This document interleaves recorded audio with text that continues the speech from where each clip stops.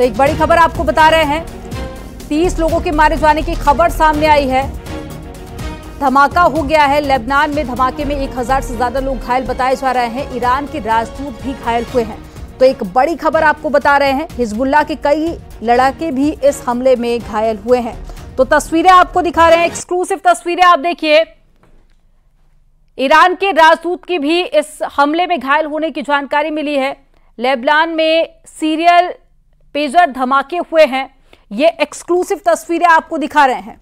जिस वक्त धमाका हुआ, वहाँ लगे सीसीटीवी कैमरे में ये पूरी घटना कैद हो गई है।